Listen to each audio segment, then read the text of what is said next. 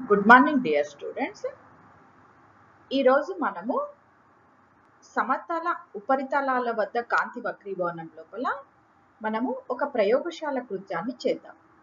ఈ ప్రయోగశాల ఈ ప్రయోగశాల కృత్యం ద్వారా మీరు పతన కోణానికి వక్రీభవన కోణానికి మధ్య ఉన్న సంబంధాన్ని తెలుసుకుంటారు. ఇంకా ఏం తెలుసుకోవచ్చు అంటే స్నెల్ నియమాన్ని రుజువు చేయడం కూడా తెలుసుకోవచ్చు.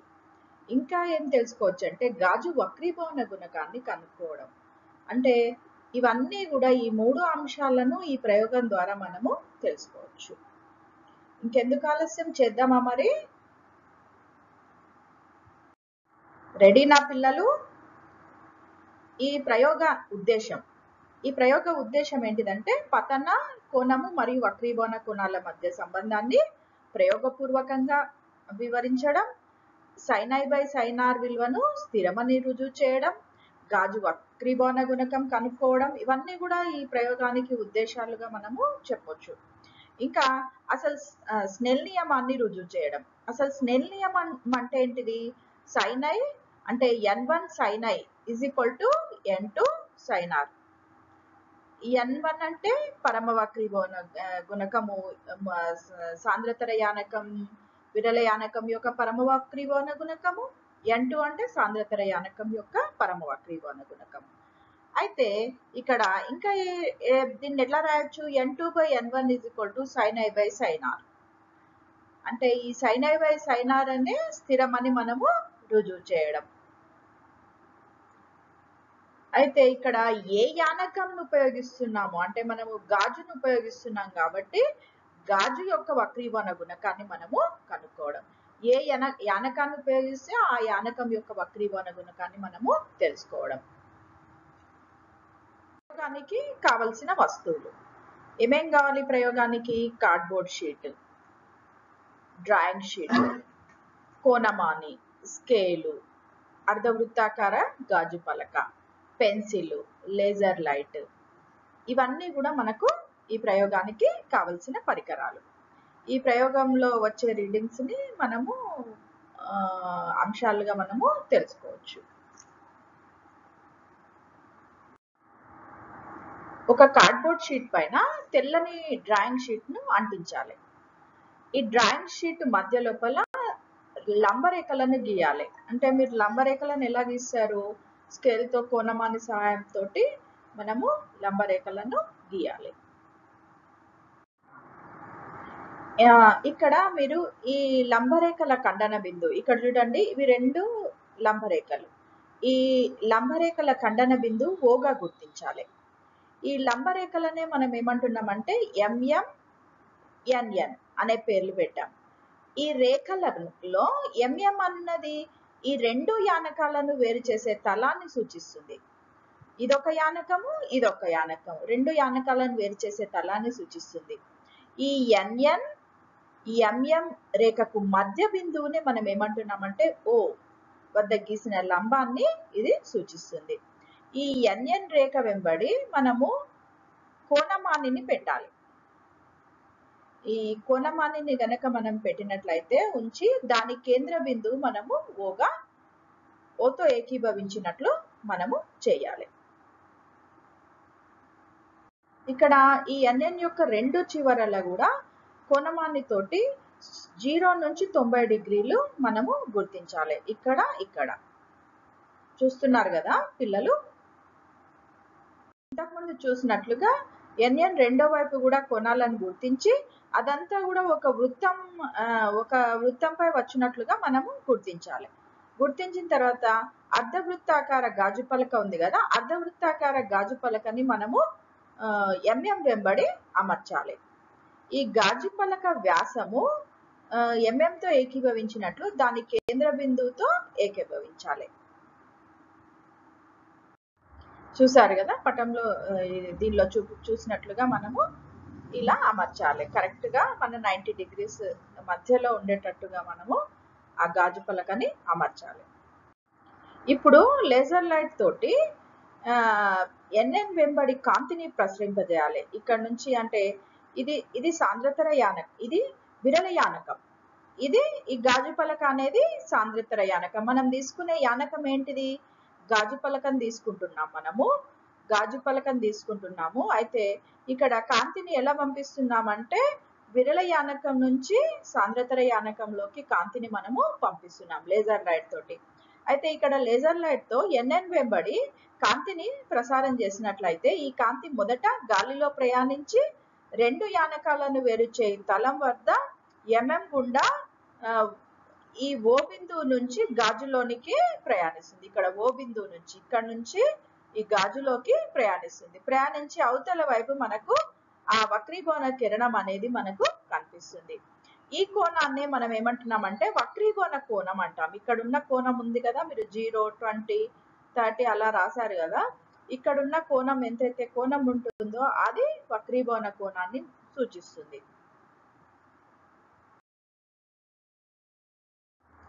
ఇక్కడ గాజు నుండి కాంతి గాజు నుండి బయటకు వచ్చే కాంతి యొక్క మార్గాన్ని మనము గమనించాలి.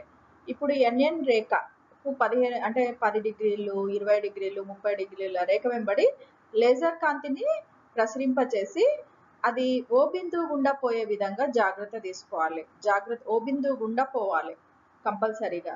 ఈ కాంతి గాజు పలక యొక్క వక్రతలం గుండా బయటకు బయటకు వచ్చే కాంతిని పరిశీలించాలి. ఈ వక్రీభవన కోణాన్ని కొలవాలి. ఈ విధంగా మనము చూడండి మనము చూసినట్లుగా ఇక్కడ ఈ విధంగా మనము పతన కోణాలు పది ఇరవై పది డిగ్రీలు ఇరవై డిగ్రీలు ముప్పై డిగ్రీలు నలభై డిగ్రీలు యాభై డిగ్రీలు అరవై డిగ్రీలు ఉన్నట్లు పతన కోణాలు ఉన్నప్పుడు వక్రీభవన కోణాలు మనకు బయటకు వచ్చే కిరణము వక్రీభవన కిరణం అవుతుంది కాబట్టి ఆ వక్రీభవన కిరణాన్ని మనము కొలవాలి. ఇప్పుడు పది డిగ్రీలు ఉన్నప్పుడు ఏడు. అదే ఇరవై డిగ్రీలు ఉన్నప్పుడు ఎంతనో చెప్పండి? పది డిగ్రీలు ఉన్నప్పుడు ఏడు. జాగ్రత్తగా గమనించండి.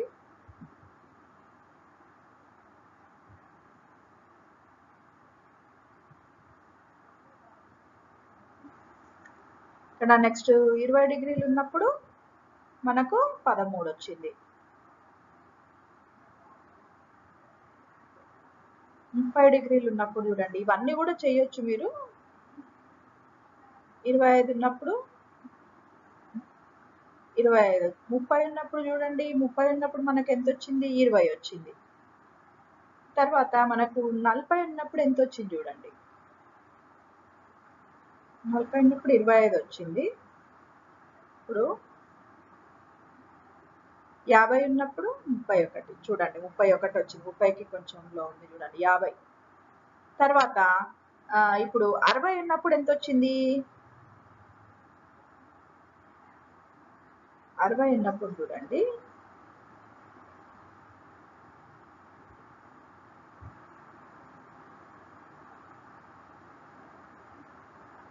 ఇలా మనము ఒక పట్టికలో నమోదు చేసుకోవాలి.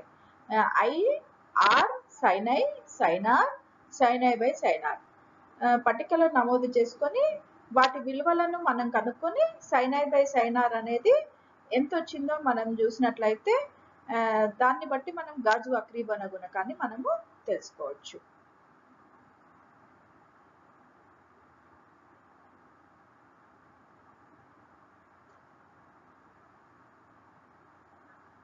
ఇక్కడ కాంతి అనేది ఎలా అవుతుంది పిల్లలు? కాంతి ఏ యానకం నుండి ఏ యానకంలోకి ప్రయాణం చేస్తుంది? కరెక్ట్. విరల యానకం నుంచి సాంద్రతర యానకంలోకి కాంతి అనేది ప్రయాణం చేస్తుంది. చూస్తున్నారు కదా మీరు? ఇది గాలి అటువైపుది గాజు. అంటే గాలిలో నుంచి గాజులోకి కాంతి అనేది ప్రయాణం చేస్తుంది.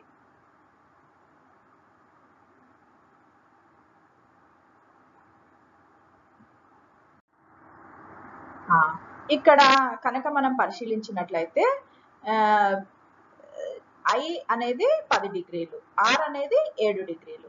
ఇక్కడ సైన్ ఐ సైన్ ఐ అంటే సైన్ టెన్ డిగ్రీస్. అంటే zero point one seven three six sine seven అంటే zero point one two one eight. Sine i by sine r కనుక చేసినట్లయితే వన్ పాయింట్ ఫోర్ టూ. అంటే ఇప్పుడు ఈ సైన్ ఐ సైన్ ఆర్ ఎలా కనుక్కోవాలి అనేది మీ ఉపాధ్యాయులతో చర్చించి మీరు తెలుసుకోండి. మన క్యాలిక్యులేటర్లో కూడా ఉంటుంది. మీకు మ్యాథ్స్ లోపల కూడా సైన్ వాల్యూస్ వస్తాయి కదా. కాబట్టి మీకు మీకు చాలా మటుకు తెలిసి ఉంటుంది ఇది. లేకుంటే మీ ఉపాధ్యాయులతో ఎలా కనుక్కోవాలనేది ఒకసారి మా అడగండి. అడిగి తెలుసుకోండి. అయితే sine i by sine r ఏమవుతుంది? Zero point one seven three six by zero point one two one eight కాబట్టి వన్ పాయింట్ ఫోర్ టూ అట్లనే ఐ ట్వంటీ ఉన్నప్పుడు ఆర్ థర్టీన్ అయింది. ఇక్కడ సైన్ ఐ అంటే zero point three four two zero. అంటే sine twenty zero point three four two zero. Sine r sine thirteen zero point two two four nine. మనకు వచ్చి sine i by sine r one point five two అట్లనే sine i thirty r twenty కాబట్టి sine thirty అంటే zero point five sine r sine twenty అంటే zero point three four మనం కనుక zero point five by zero point three four చేసినట్లయితే one point four seven అట్లనే forty degrees twenty five degrees zero point six four two seven zero point four double two six is equal to one point four two ఇలా మనకు వస్తుంది. అంటే దీనిలో కొంచెం హెచ్చు తగ్గులు ఉంది. దీనికి కారణం ఏంటిది అంటే మనం మనకు కొంచెం గాజు వక్రీభవనం జరిగినప్పుడు కొంచెం మనం చూసే దీనిలో తేడా వల్ల కొంచెం స్లైడ్గా చేంజ్ వస్తుంది. కానీ దాదాపుగా సమానంగా ఉంది కాబట్టి దీని యావరేజ్ గనక మనం చూసినట్లయితే వన్ పాయింట్ ఫైవ్ టూ అనేది గాజు యొక్క వక్రీవన గుణకం అవుతుంది. అంటే దీన్ని బట్టి మనకి ఏం తెలుస్తుంది అంటే సైనార్ బై సైనార్ అనేది స్థిరము అనేది మనకు తెలుస్తుంది. ఇక్కడ గనక చూసినట్లయితే ఐ వాల్యూస్ పెరుగుతున్న కొద్దీ అంటే ఇక్కడ గాజు పతన కోణం అనేది పెరుగుతున్నప్పుడు వక్రీభవన కోణం కూడా పెరిగింది చూడండి. Seven ten. అంటే కానీ పతన కోణం కంటే వక్రీభవన కోణం అనేది తక్కువగా ఉందనేది మనకు తెలుస్తుంది. ఇక్కడ మీరు కనుక చూసినట్లయితే గాజు మనం గాజును వాడుతున్నాం కాబట్టి ఇక్కడ ఆ గాజు వక్రీభవన గుణకము వన్ పాయింట్ ఫైవ్ టూ. ప్రతి ఐఆర్ విలువలకు సైనై సైనార్లను లెక్కించి సైనై బై సైనార్లని మనము గణించాలి. గణించినాం కదా? ప్రతి సందర్భంలో సైనై బై సైనార్ విలువ స్థిరమని తెలుస్తుంది. దీన్ని బట్టి మనకి ఏమేం మనం మనకేమేం అర్థమైంది? అర్థమైంది ఐ బై సైనార్ అనేది స్థిరము. అంటే స్నెల్ నియమాన్ని రుజువు చేశాము. ఇంకొకటి ఏంటిది? పతన కోణము వక్రీభవన కోణాల మధ్య సంబంధాన్ని మనము ప్రయోగపూర్వకంగా తెలుసుకున్నాం. అదేవిధంగా మనం తీసుకున్న గాజు యొక్క వక్రీభవన గుణకాన్ని కూడా మనము తెలుసుకున్నాము. అంటే ఈ వక్రీభవన గుణకాన్ని తెలుసుకున్నాము ఈ దీన్ని బట్టి మీరు ఈ ప్రయోగంలో మనం చేసిన జాగ్రత్తలు ఏంటివి తర్వాత దీన్ని ఎలా సాధారణీకరిస్తాము? ఇవన్నీ కూడా మీరు రాయండి. మీ వర్క్షీట్లో రాసి రాయండి.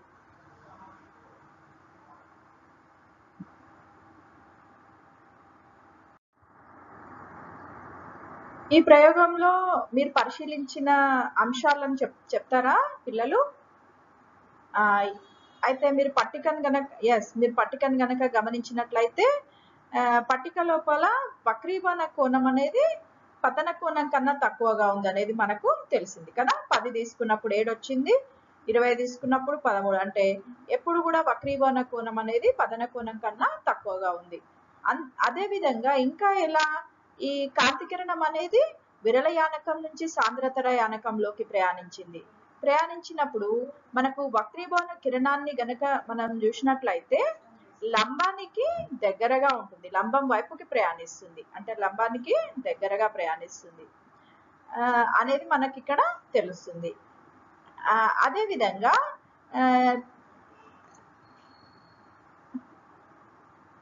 ఇంకా ఏం తెలుసుకున్నారు? సైనై బై సైనార్ విలువలు స్థిరం అని తెలుసుకున్నారు.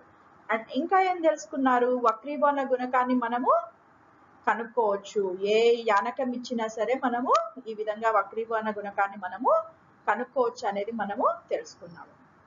అంటే ఇక్కడ కనుక మనం పరిశీలించినట్లయితే విరళ యానకం గాలి సాంద్రతర యానకం గాజు. అంటే విరళ యానకం నుంచి కాంతి కిరణం సాంద్రతర యానకంలోకి ప్రయాణించినప్పుడు ఆ, వక్రీభవన కిరణం అనేది లంబానికి దగ్గరగా వంగుతుంది అనేది మనకు తెలుస్తుంది.